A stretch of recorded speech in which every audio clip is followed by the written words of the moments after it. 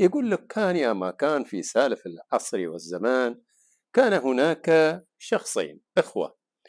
وهؤلاء الإخوة ورثوا من أبوهم مالا. هذا المال قسم عليهم بالتساوي. هذا وهذا. ونحاول أن إحنا نساويهم بالتساوي تماما. لأنهم إخوة ولازم يكونوا متساويين في الميراث في المال اللي حصلوا عليه. يعني هذه قدر المستطاع أن إحنا خليناهم متساويين في المحتوى الموجود في هذين أو في هذين الكأسين.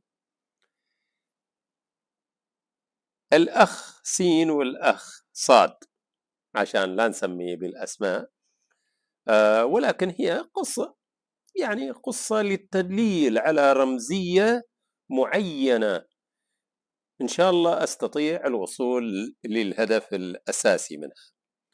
هذا الأخ الكريم استحسن المال حصل فلوس والمبلغ يعني ما كان يحلم به يوم من الأيام.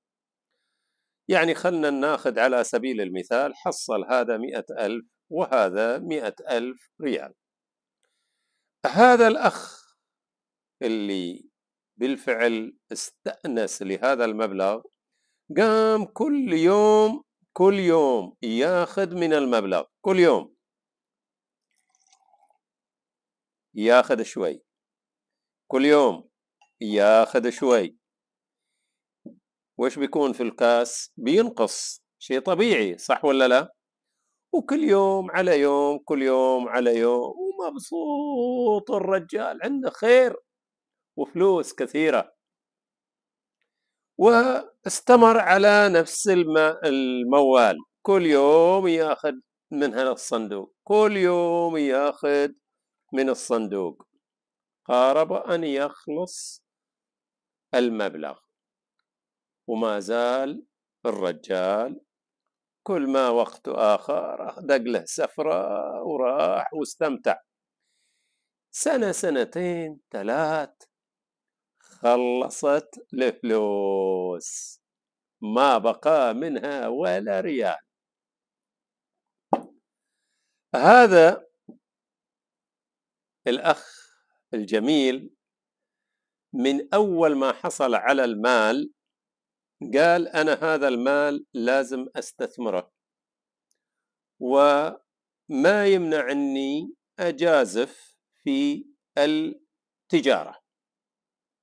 وبالفعل عمل على مشروع تجاري والله وفقه. صار هذا المبلغ كل يوم يزيد كل يوم الله يرزقه. كل يوم الله يرزقه. سنة سنتين ثلاث أصبح من مشروع واحد إلى عدة مشاريع. وهذه المشاريع بدأت تنمو وظف مجموعة من الشباب عنده وصار همه الأساسي كيف يوازن بين حياته وبين أمواله. أما هذا فخسر المال. وخسر كل شيء. لم يعد له المال ولم يعد له العمل ولم يعد له أي شيء يستفيد منه. المغزى من هذا كل شيء في هذه الدنيا يحتاج إلى مثابرة يحتاج إلى نية صافية لأجل أن تبني مشروعك. مشاريع ممكن تكون كثيرة جدا في هذه الحياة لكن كيف تبني مشروع؟ وينمو هذا المشروع بنيتك الصافية وكذلك تحافظ على استمرارية هذا المورد المالي اللي الله رزقك إياه. الموارد المالية هي نعمة من رب العالمين ممكن تكون أنت ما تعبت فيه صحيح لكن محافظة عليه هو استمرار حياتك الاستمرار إلى ديمومة الحياة التي تعيشها أنت. فكيف يكون هذا الكأس تحافظ عليه ممتلئ أو متوازن؟